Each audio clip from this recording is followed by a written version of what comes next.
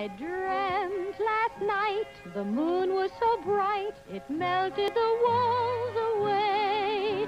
And it wasn't alarming when I saw Prince Charming come into my bedroom and say, Let me persuade you to come to the place where tomorrow meets today.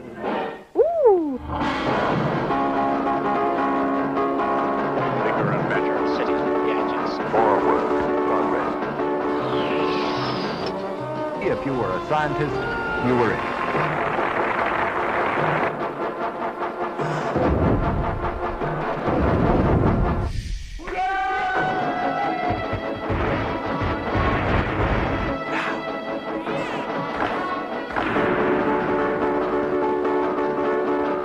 Your excellent science, I am your faithful servant. And the tomorrow. building a new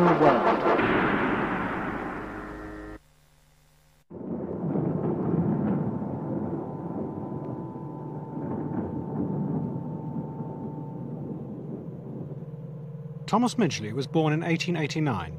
He became a chemist and an inventor. In 1921, he solved the problem of knocking in car engines. He put lead in petrol. In 1930, he discovered a new coolant for fridges. It was called by its initials, CFC. Midgley became part of a golden age of chemistry in America in the 30s. Chemistry, alchemy, magic. The modern laboratory of today's chemist, fantastic in appearance as it is, is far out in the very vanguard of progress. The Holy of Holies, wherein science moves in mysterious ways her wonders to perform. In 1935, Midgley predicted that in the future chemistry would solve many of the world's great problems. The ozone layer, he said, could be altered to control the sun's rays and allow scientists to govern the world's agriculture. In 1940, Midgley contracted polio. He built a pulley system to lift himself in and out of bed. But in 1944, he became trapped in it and strangled himself. That same year, the American Army began mass producing CFC to help spray a new, some said miracle chemical over the Pacific battlefields. It killed insects. It was called DDT. Katy did, Katy didn't, Katy did, Katy didn't, Katy did, Katy didn't, Katy did. And who kissed the banker's boy and ran away and hid? Katy did, Katy didn't, Katy did, Katy didn't, Katy didn't, Katy did. Gracious, what a scandal! Every other girl would cry. She can't hold a candle to somebody such as I. But who got the banker's boy and fifty thousand quid? Katy did, Katy didn't, Katy did. I was a project officer on the first aerial application of DDT that was ever made in the world, I guess. And we flew it over several square miles of jungle, and I was walking around some trails we'd cut in the jungle floor, and there was an incredible, describable rain of insects of all kinds coming down out of the tops of these huge jungle trees, 100 to 130, 40, 50 feet. We got uh, cerambycid beetles, uh, beetles of all descriptions that probably many people had never seen, or if anybody had ever seen, because they're in the tops of the trees. I remember particularly some uh, big of these longhorn beetles that were coming down. There were uh, wasps and bees of all descriptions and so forth, and it was an incredible experience. And uh, I guess what occurred to me then is that maybe this was one of the best ways to collect insects and find out what kind of insects there truly were in a representative area of the jungle. And that's just one of the more innocent things I guess one could read into it. The low-flying planes cover every section of the city, from the coast of Manila Bay to the outlying environs, in an effort to destroy the large numbers of flies and mosquitoes plaguing the area. Prior to the spraying, the populace was informed that the insecticide would not injure vegetation or clothes. In American bars, there was a drink which was called Mickey Slim, and it was a good gin with a spot of DDT in it. And this was supposed to give you a feeling of happiness and merriment. Then in Naples uh, in 1943 and 44, there was an enormous epidemic of uh, typhus transmitted by the human body louse, and there's about 10 million applications of DDT dusting powder were made to people, and they wiped that out. And those things got enormous publicity in uh, household magazines like the Reader's Digest. Everybody wanted to try DDT, and the civilian population could hardly wait to get their hands on it when it was released uh, in 1945 for civilian use.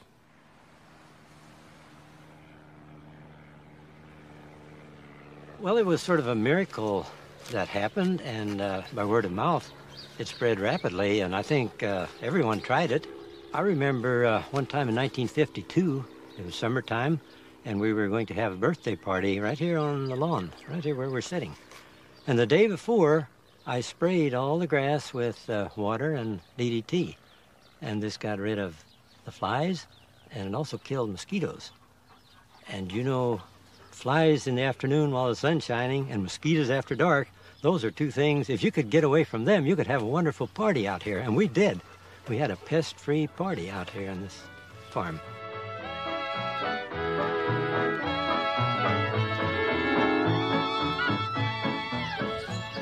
Chemical people would show us test plots, and the quality of the corn would have little small ears where the weeds and the insects had taken over, and where they'd used the chemicals, the ears were bigger, and with the yield was two to three times as much.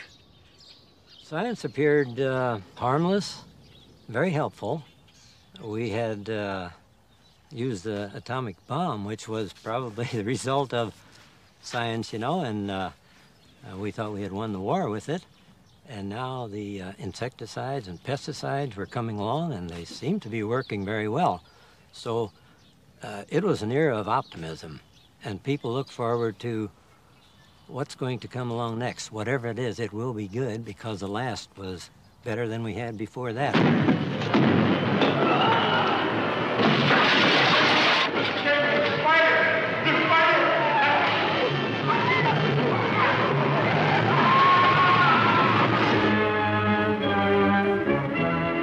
The United States was a continent plagued with insects farmers lived in perpetual fear of finding a new infestation. Whole crops were regularly destroyed by pests. DDT and the other insecticides invented in its wake promised victory in this war. This man is a farmer, yes, but he is also a detective, a plant pest detective.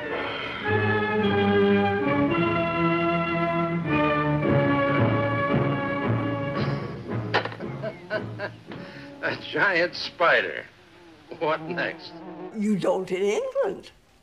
Anything like the insect life that we have. You don't have to have screens on the windows in many places. Can't survive here that way. Come on, just a little bit. We are edgier about them.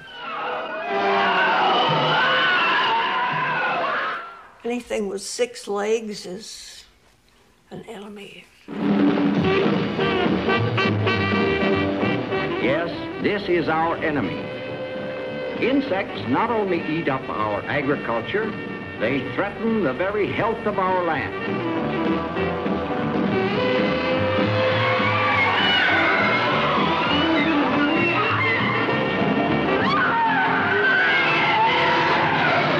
I've seen the time uh, full fields of crops would be ruined from the insects before the chemicals come into effect.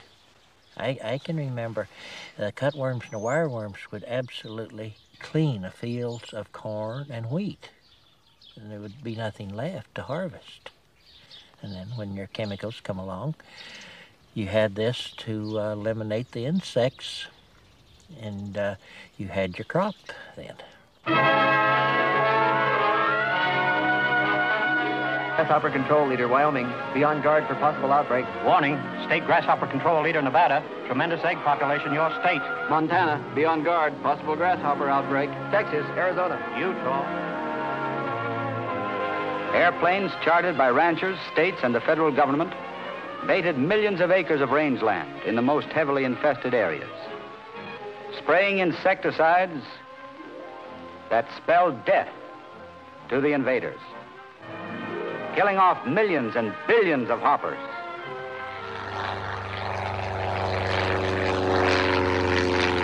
It was a miracle chemical to us because we thought it would control practically every insect. I guess it was just a time in the period that God had decided that He would let us discover these chemicals and use them wisely. And uh, I, I suppose everything, uh, the whole system is directed by God. So I guess this was the time that uh, we would uh, find our knowledge given by God would lead us to find these uh, natural resources to use to control, do away with some of the slave labor. Uh,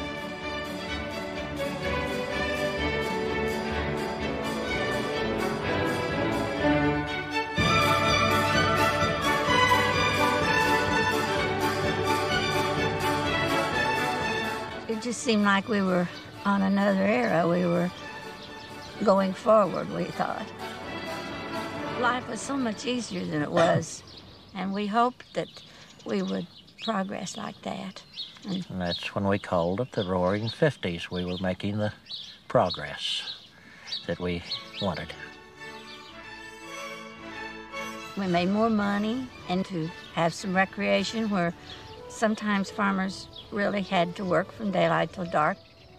As times were better, we felt just as important as the people in the cities. And we wanted to live and have conveniences like they had. In that way, we thought we were building the American dream. Maybe we looked at it wrong, but that's the way we felt. And that's what we tried.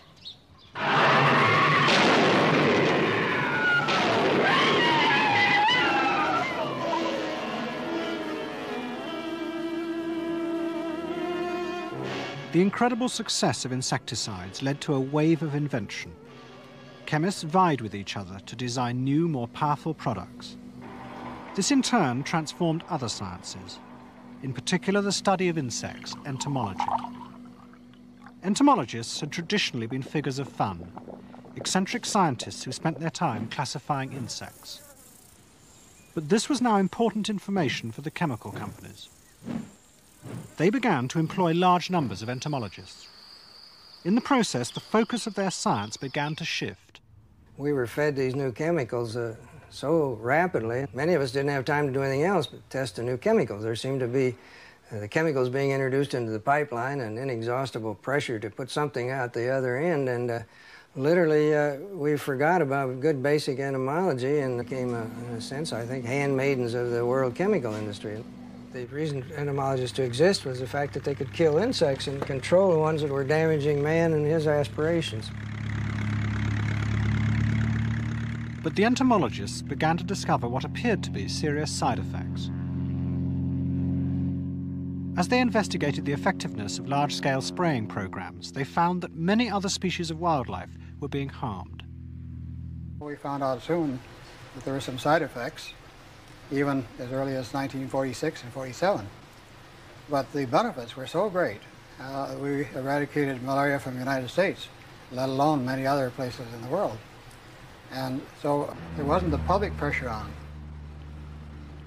We were killing off birds in some cases.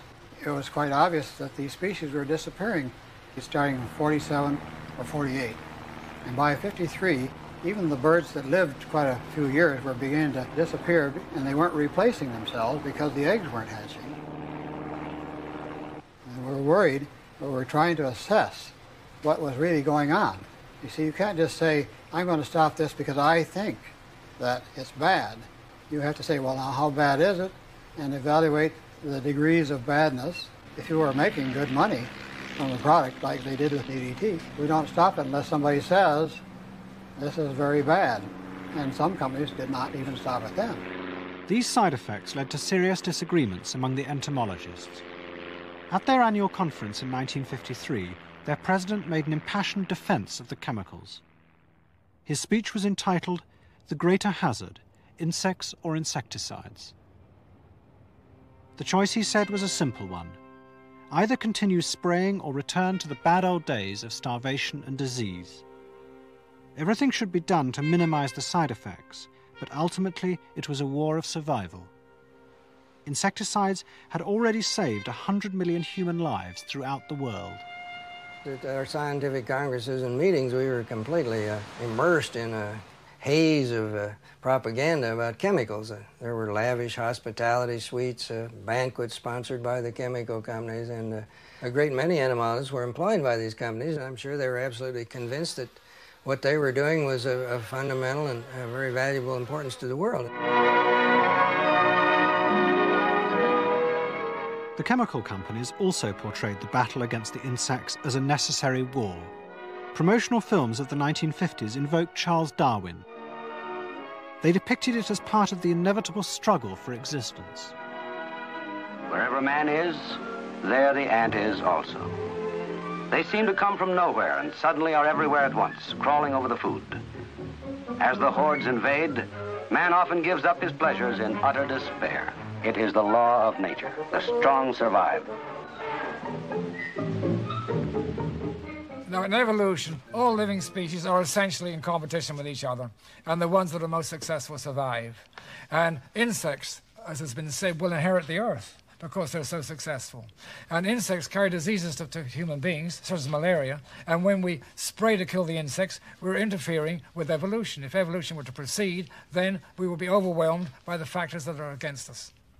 Do you realize how easy it would be for them to overcome us humans? Then instead of being the hunters, we'd become the hunted. They'd be our masters. They'd live on us.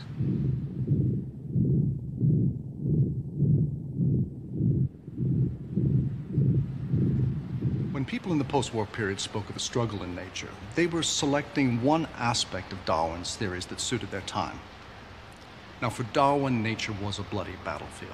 There were winners and losers, victors and the vanquished. But this imagery took on special significance in the Cold War years. In the American Midwest, when I was growing up, the household aerosols were called insect bombs. The point is that in these life and death struggles, scientists believed that they were seizing power from evolution and redirecting it by controlling the environment. They took it on faith from the biologists that this is how the world works. And then they chose to emphasize those aspects of Darwin's theory which fitted in best with the industrial programs they were embarked upon. This was not a neutral reading of Darwin at all. This was an interested reading. Our relationship to nature is that we are a competing species with all other organisms. And we have to be ingenious, otherwise, nature will overcome us with starvation, with famine, with disease. The balance of nature is mosquitoes carrying malaria to cut down the human population. That's the balance of nature. Anything left behind? Nothing but a dead spider. Well, this time he's going to stay dead. Dead and buried. Well, let's say at least until some egghead comes along and digs it up again. Yeah.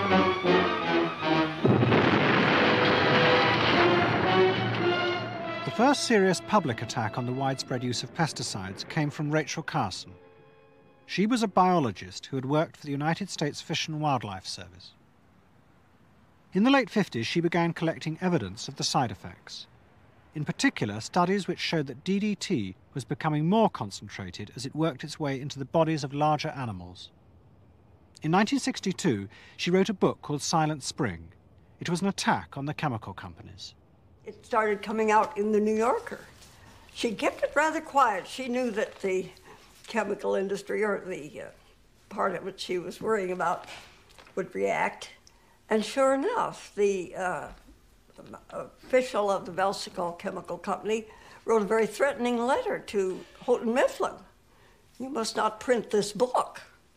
And came out with the standard uh, line that they still use. You see, if we stopped using all these pesticides, it would simply ruin the whole economy of the country. And this is a sinister plot by the uh, far left subversive forces, as they called them, uh, to destroy the United States. Silent Spring painted a dramatic picture of a poisoned America. It caused an immediate sensation. It coincided with revelations about thalidomide and the fallout of strontium-90 from nuclear testing. Congress held hearings on the regulation of pesticides. Even the president was dragged in. There appears to be growing concern among scientists as to the possibility of dangerous long-range side effects from the widespread use of DDT and other pesticides. have you considered asking the Department of Agriculture or the Public Health Service to take a closer look at this? Yes, I, I, I, and I know that they uh, already are. I think particularly, of course, uh, since Miss Carson's book, but uh, they are examining the matter.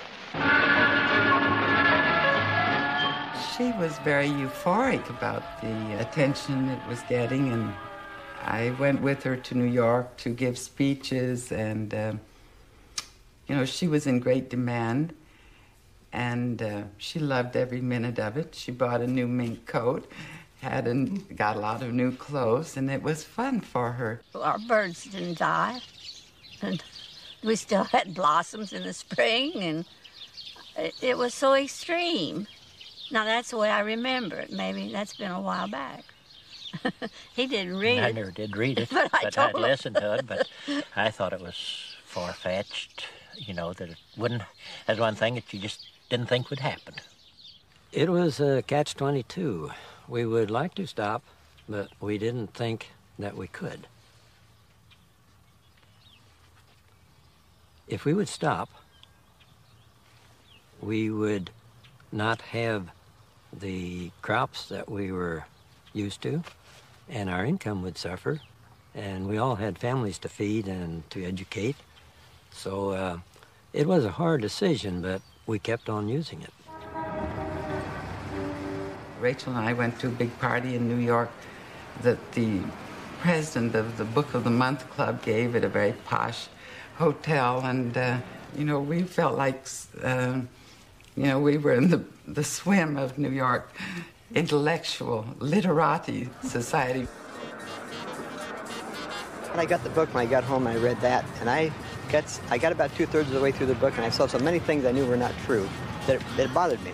When I set out to make a lot of speeches to try to to let people know what she had said and what was really the truth, many other people were doing the same thing uh, across the nation. So usually, at some time during the talk, somebody would be interested in what about the effect on people, and it was handy at that time to have a box of DDT like this one, and so I could just dump some out in my hand and take some of it to show that it's not harmful to people. Never has been. Nobody's ever been killed by DDT.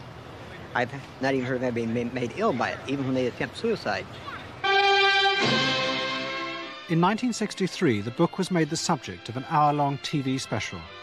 Three of the programme's sponsors, food and chemical manufacturers, withdrew in protest.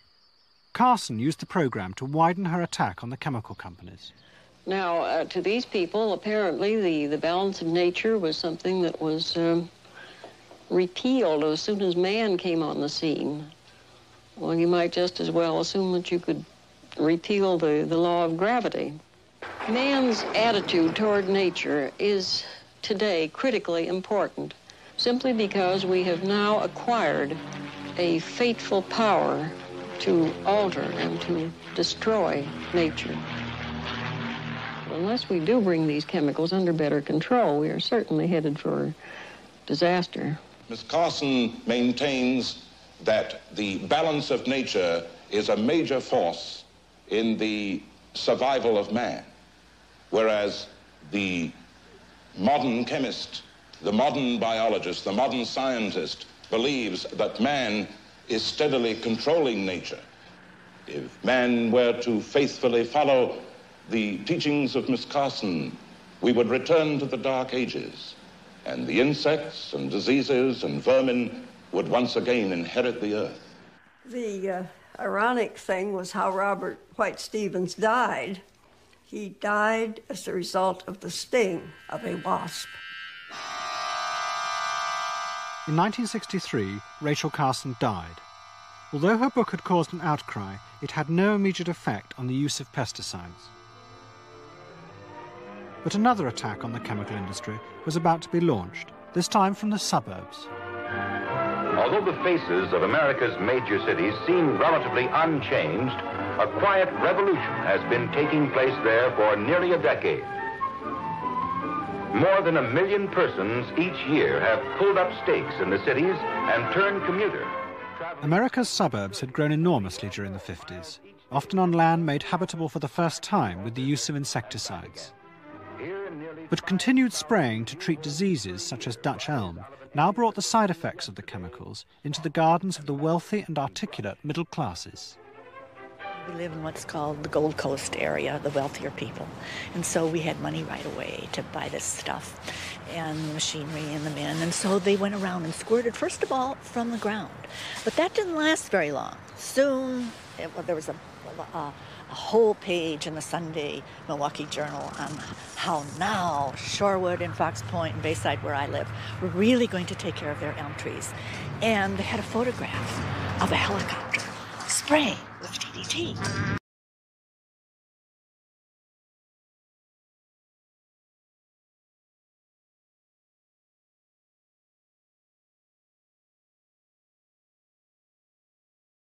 And not too long after that, the robins started going to convulsions. It would start out, you'd see the robin, you'd think it would be all right, and then all of a sudden the quivering would come on. Those robins got in the way of the spray and they got drenched with DDT and they fell to the ground and they were twitching and paralyzed. And that seemed like a terrible thing, and it was for those robins. But there were millions of other robins that weren't being hurt at all.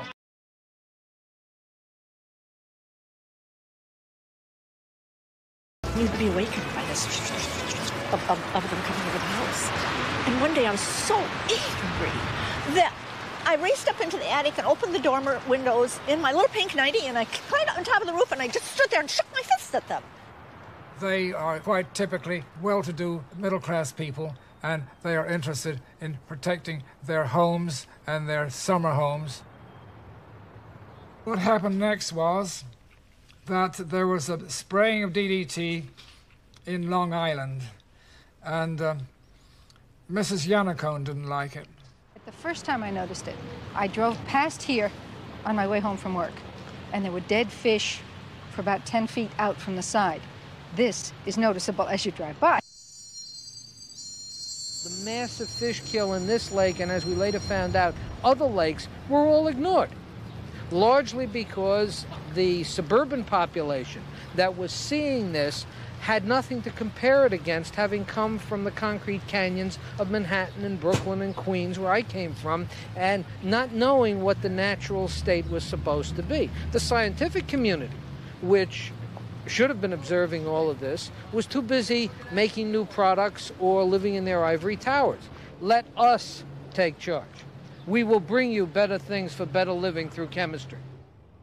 Victor Yannacone was a lawyer. Together with two local biologists, he founded the Environmental Defense Fund. Its aim was to legally challenge the use of DDT and other pesticides. Their argument was that the chemicals were spreading in uncontrollable ways, becoming more poisonous as they did so. One of the strongest pieces of evidence was the disappearance of the peregrine falcon. DDT was being found in their bodies, and their eggs were failing to hatch. Two ornithologists set out to count the falcon population. We were simply going to follow uh, a route from uh, northern Alabama all the way up to the state of Maine. And we started in, uh, I believe it was early April. And birds should be on location uh, at that time. And we simply worked our way northward and we followed a very tortuous uh, route. And we checked something like 130 sites or something like that in the course of the next three months driving uh, a little over 14,000 miles. We found uh, zero, not one peregrine falcon. In 1968, the Environmental Defense Fund discovered an obscure law in the Midwestern state of Wisconsin. It allowed anyone a legal hearing if they believed they could prove water pollution in the state. Go Northwestern, go Northwestern, it's the very best way to go. Using this as a pretext, the fund engineered a hearing, and in November 1968, a small group of them traveled to Madison, the capital of Wisconsin, in the heartland of America's agriculture. The hearing was held in the vast state legislature. It quickly became a trial of DDT. The star was Victor Yannacone. His main aim was to get the public's attention, to explain why tiny amounts of a chemical could have such large effects. We had to explain that a part per million was significant. We did this by calling a very prominent scientist from the pro DDT camp. And we asked him a very simple series of questions. Doctor, uh, do you have uh, any idea what the uh, purpose of uh, the hormones that uh, flow in your blood is? Yeah. And they're responsible for your secondary sex characteristics the hair on your head, the hair on your chest, the tone of your voice, right? Do you have any idea what the uh, level of testosterone in your bloodstream is necessary to give you that lovely shock of white hair, all that hair on the chest, and the uh, uh, grandchildren that you're so proud of? And he finally admitted that it was five parts per million. I said, Well, do you have any idea what would happen if the level of testosterone in your blood should drop to as low as three and a half parts per million? He averred he didn't know, and I said, Well, you know that that hair of yours would change, the hair on your chest would disappear, the hair on the rest of your body would change, your voice would go up to a little squeak, and you sure as hell wouldn't have any grandchildren. The public got the point. One part per million could be very significant. Victor Yannacone was a genius in the courtroom, and once he arrived in Madison, he was the man who controlled everything. He made us all snap into line. He would time the, the proceedings so that the, uh, the courtroom was shut down, the hearing room was shut down just before four o'clock, and he'd have a story for the, for the reporters. The next day's headline, as this poor scientist got off the plane to go back to his laboratory, was Noted scientist says DDT destroys sex there was not enough room in the paper for the hormone, and they left it at that. The Madison hearing soon became headline news, with both sides claiming that everything America stood for was at stake. At the height of the battle over DDT, I wrote a poem and sent it to Time magazine. It was a parody on America the Beautiful, and I'll sing it for you. Oh, beautiful for bug-filled skies, for weevils in the grain, for apple scab and stable flies. Please bring these back again. Malaria, malaria, red blood cells harbor thee where Rocky Mountain fever thrives, where babies have TB, where parasites take human lives. Why, that's the land for me.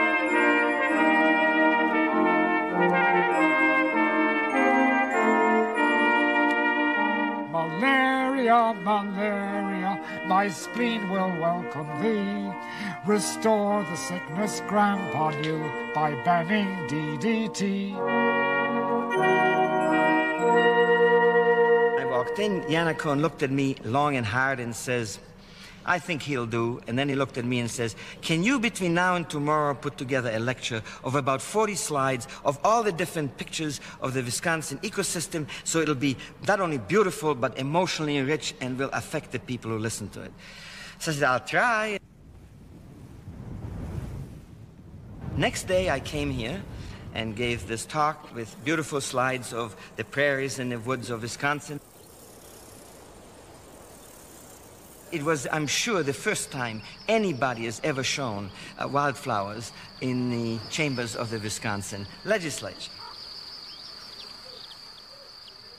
In the late 60s, ecology was a modest scientific backwater. Ecologists spent their time studying the mutual dependence and balance of all the inhabitants of a particular area. But for Yannacone, ecology was a powerful weapon with which to attack the defenders of DDT, especially the entomologists. It gave him a scientific basis to challenge the idea of evolution they used to justify the large spraying programs. The entomologists who should have known better and now, 30 years later, admit they should have known better, simply saw the death and the extinction of what we now know to be beneficial insects as the operation of the fundamental law of survival and evolution. What they didn't realize is the kind of evolution they were looking toward was the evolution of monsters arising from garbage dumps, of chemically deformed animals and plants. What they thought would come out of this was a, a simplified world ecosystem with good plants bad plants, weeds. Good insects, bad insects. Good animals, the ones we eat. Bad animals, the ones that take up space. There was a problem, though. If human beings were inextricably interwoven with other parts of nature, as ecology said, where were the effects of DDT on humans? In 30 years, no worker in the DDT factories had been poisoned. The defenders made great play of this at the hearing. But then in early 1969, the Environmental Defense Fund received some unexpected news. Swedish chemist by the name of Göran Löfroth wrote a letter saying that they have found in almost all women in Sweden DDT in the mother's milk. Well, we went to my house. We finally said, hey, let's call up Sweden. And we did. We got him out of bed. He must have been four o'clock in the morning then. He spoke pretty good English. What do you want?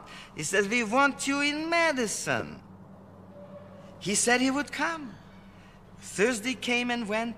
Friday at 10 o'clock, people went out to the airport. It was all hush hush because we, the testimony was droning on and on and on. The pesticide this and the chickens that and the eggs this and so forth and so on. My God, when just hours, I mean, we have, after all, we have 14 of these volumes, 2,800 pages of testimony. The stenographers went bananas. Anyway, at 11.30, somebody hi-hoed me, little sign, and we went outside the hall, and sure enough, there was Göran Löfroth with his little suitcase.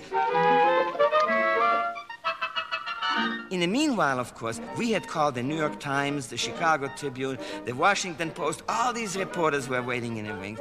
It's happening! Hiya, happening! Oh, oh hello, everybody. And then for the next three hours, Göran Löfroth laid it on the line that if babies eat, drink milk of cows that grazed on land that was sprayed with DDT, their fat is going to contain DDT. And not only this, but its fat, of course, is in the brain. Most brain is fat. It will be loaded with DDT by Sunday, front page of the Sunday New York Times. And the opposition was just livid with rage, but we won that one. I'll tell you, from then on in, it went all our way. They were just furious, and one man got up and he shook his fist and he said, How do you dare not do this? Why are you paying attention to that lunatic fringe over there, those pseudo scientists? He said, I've got a family to raise. He said, I need DDT to take care of my nursery and these trees. So it was a, it was a furious explosion at the end of the day.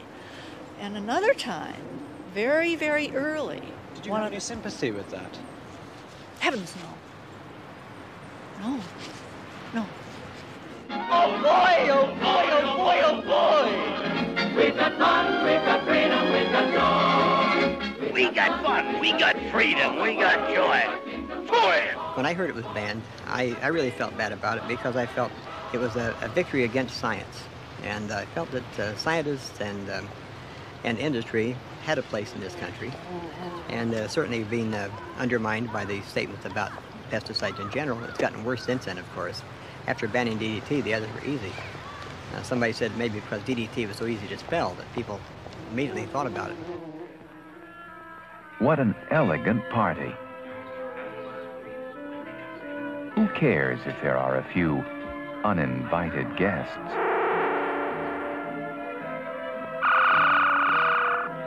The nation's farmers do by using pesticides to maximize agricultural. It felt like they were wanting to take something away from us as farmers, take the chemicals away from us. People in the cities that was not familiar with farming were not aware of the actual facts, is the way we felt about it. We felt that it was going to set us back years of progress.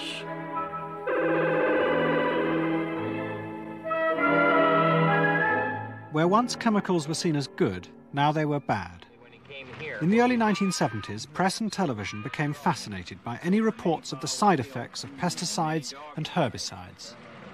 What happened, that leg's just malformed, but he's, when he, he was crippled, he was born after the sprain this year. That's the only evidence involved. And above all, by the effects on human beings. The first analysis was phoned to me yesterday to say they have found the residues of 2,4-D. So I guess I'm the first documented case to say it is residual in the human body after you've been exposed to it. I will do everything I can to see to it this never happens to anyone else. Because This is still our country. Number one, I'm an American, and I love my land, and I love my country. And no one has the right to deprive me of my health. The battle against DDT had been won ultimately by evidence of its presence in humans. Now the Environmental Defence Fund placed advertisements in the national papers implying that DDT caused cancer. Donations flooded in, but the decision split the leadership. The Environmental Defense Fund and Carol and I parted company over the issue of whether the shift should be from the questions that we were sure of that DDT was bad for the environment to the speculation that DDT might cause cancer. I don't believe in going to court on speculation. I go to court on relatively solid evidence. DDT is not good for mammalian systems. It damages the nervous system, it damages the liver enzyme systems, it causes some problems. It is not a strong carcinogen. It is not, except in very large doses, associated with serious human health hazard. Its real problem is that it had the capacity, had it continued to be used at the rate it was being used, to literally destroy almost the entire world natural ecological system on which we really depend and would have meant the ultimate collapse of the human species as an animal species. The DDT hearing was a watershed, not just for the battle against chemical pollution, but for the science of ecology. Ecologists became influential figures, giving scientific advice in the battles against other pesticides. But in the process, their science was transformed. It became the guiding force of the environmental movement. Beginning with the unintended consequences of DDT, the science of ecology had emerged as a useful tool in science, and many people began to see it as something that could be drawn upon for moral enlightenment as well. The notion of everything being connected to everything else, the notion of a kind of ecological harmony and balance. And eventually this came to be seen as a philosophy that could guide uh, human societies, guide individual behavior, and so forth. Well, ecology is a balance of nature. What do you mean by ecology? Well, uh, to clean it up, not to pollute the atmosphere, the land, the water, everything to do with nature. And then we had an awful lot of just self-appointed environmentalists. People were just coming out of the woodwork, they're environmentalists. And many of us, uh, including those people that uh, were environmentalists, uh, didn't even know what the word meant. It's the relationship between me and uh, plants and animals and the world in general. I remember the first time I ever heard the word environmentalist uh, on the air was on an Oscar Godfrey show, and and he was uh, trying to explain what it was, and it was hard for him to explain what it, what the drive, what the era was. So it was really a new era.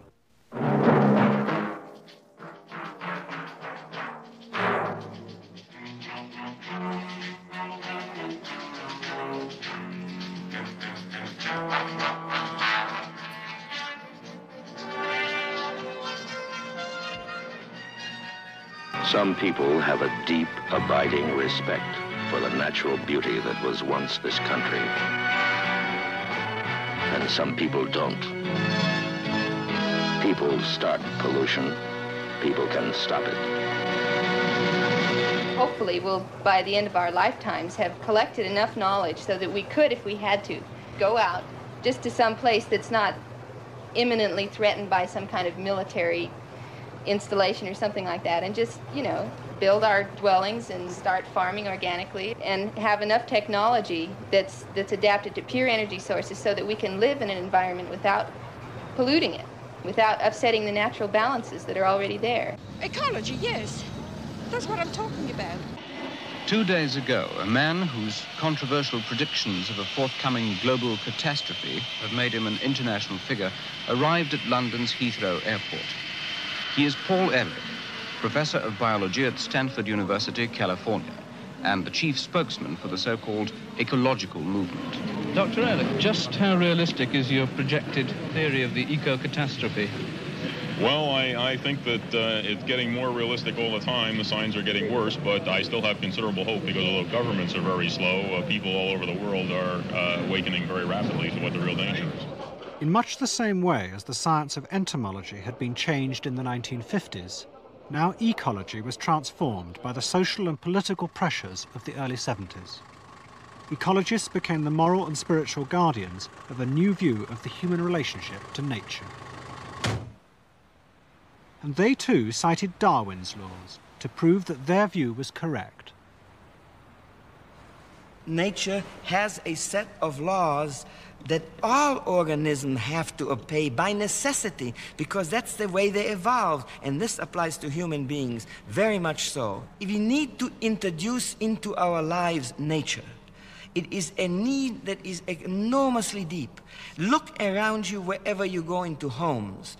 There are not only living flowers they're not only aquaria and pets Look at the wall. What do we see? Sunflowers by Van Gogh, or irises by Van Gogh, or, or pictures, photographs of landscapes. You don't see framed in a house a picture of a crankshaft from a, from a Ford or, or a, a, a, a, tin can squashed. Now, in, in modern art, which is a sick art, because it reflects the confusion in the human minds, yes, indeed. You make it sound like they're set of laws that we have to obey? Well, the laws are, is very simple. They are the laws of evolution. They are the laws that were uh, voiced by Charles Darwin, that we can be happy. What happiness is, is to be allowed to act or to be free to act the way evolution meant us to act. Darwin's so big that he can support any number of generalizations about the world. I mean, given Darwin's image as a scientific saint, people inevitably try to get him on the side of their view of nature.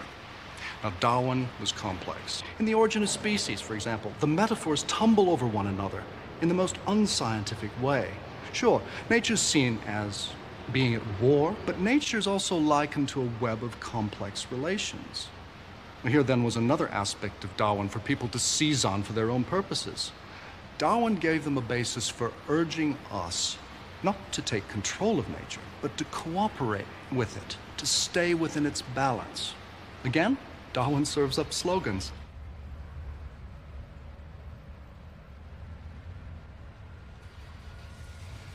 In the popular imagination, scientific theories are something fixed, and if they're good theories and accepted by creditable people, then they're absolute, and that's that.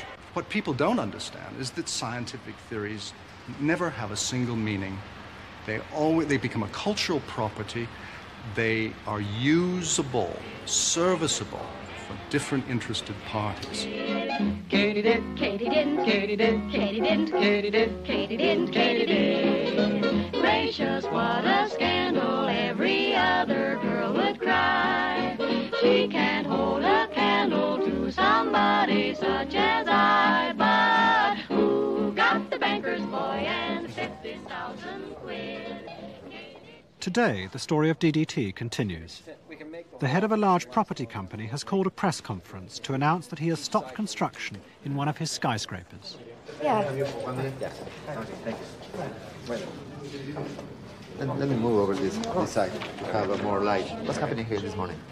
Well, uh, the peregrine falcons have been nesting in this building for five years.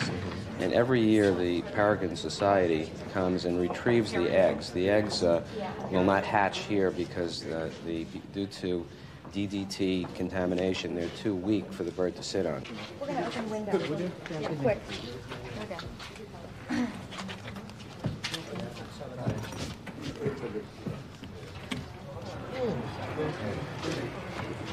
Whoa, whoa, man. Somebody's pushing it. Each year, they bring back a, a, small baby for the bird so that they feel that uh, they've completed the cycle. Okay.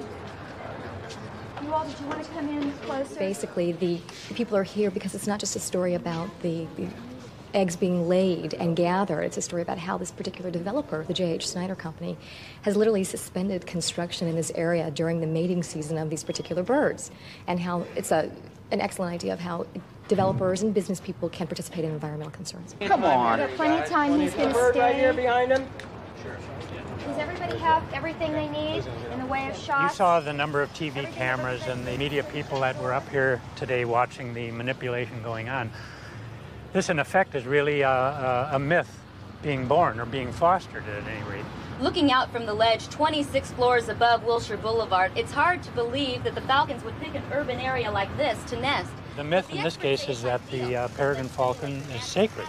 Granted, it's a, it's a precious species. We were about to lose it perhaps a number of years ago. Now we have peregrines back in good numbers. There have been dramatic uh, recoveries. I think it's just an unrealistic attitude about how, how sensitive parts of nature are. Why are these birds important?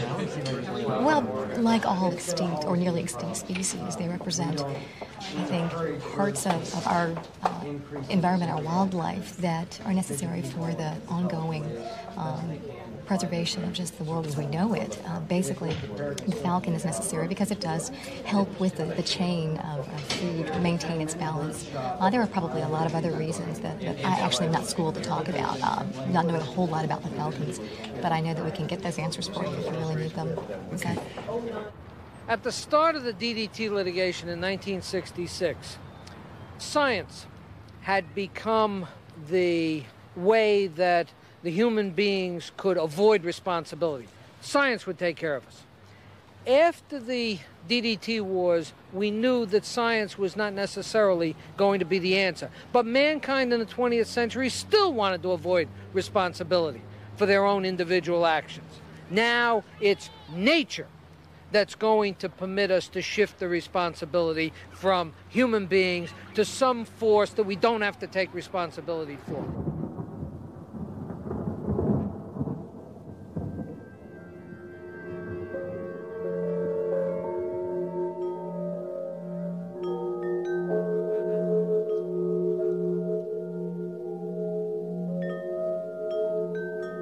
What we're talking about is a very profound internal shift of attitude and of values. This is the gift of ecology to human beings and really to all species today. And that gift uh, can give rise to not utopia, but ecotopia, which is this profound sense of place, the sense of coming home at last. The kinds of ideas about ecology and environment that we see today, I don't believe, are any more scientific or rational than previous notions of nature. In both cases, uh, people that talk about them are saying, look, this is scientific. I'm not making this up. These are not my hopes and dreams. This is what science tells us.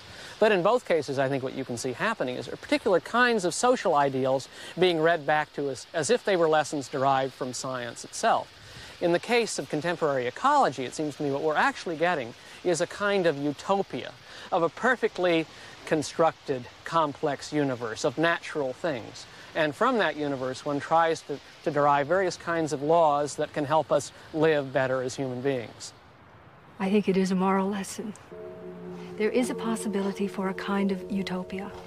We've dreamed about it, and that possibility exists in our future. The wounded winds of north, south, east, and west can be purified and cleansed and the integrity of nature can be made whole again. Sure, it's possible to seek moral guidance from nature. It's done all the time, but it's illicit. The reason why people want to seek moral guidance from nature is because they want the universe on their side. They want something fixed, something absolute, usually something with the name of science behind it to support their particular policies. The scientific and technological notions of the 1950s, the ideas of endless possibilities for exploitation of nature, are now seen as ill conceived and ill guided. I'm haunted by the possibility that the ideas of ecology that we now embrace today may, in 30 or 40 years, seem similarly ill conceived. And they're no more scientific than, let's say, other notions of nature that we have looked to in the past. At least when science was our God, we felt that we were actively doing something. We were in control. Now there are too many people that say, there's nothing I can do. Nature will take care of it. I just will continue fat, dumb, and happy the way I am.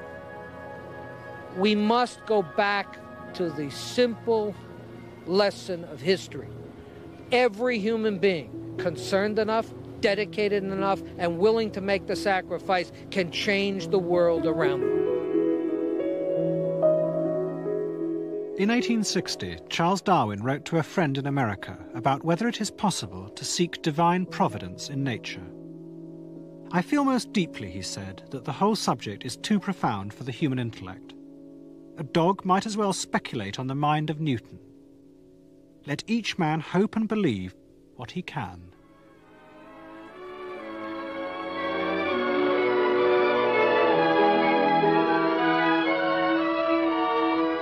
Come on, folks.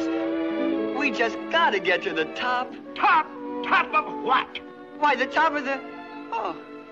Oh, gosh. Gosh, I just can't believe it. I was sure it would be here. Oh, sure. Keep going. Stick together. Everything's going to be just lovely when we get to the top. Well, we're at the top, and where's this paradise we heard so much about? Do you think we'll ever know what's best? We will uh, one day, but it won't be here on Earth in our lifetime. Uh, we'll know when we get to heaven, we'll know what's best. Oh, look! Overlooking Look, everybody, look! Starlight Square. Where the Hoppity! Oh, Hoppity!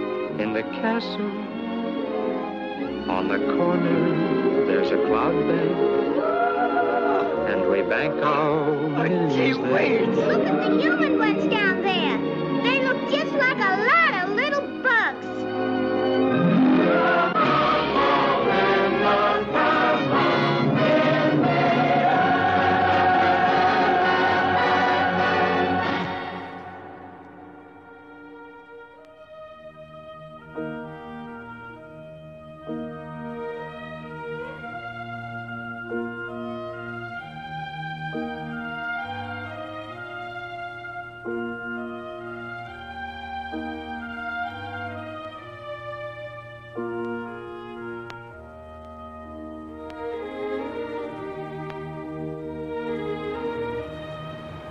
You have to wash it down. It's very dry.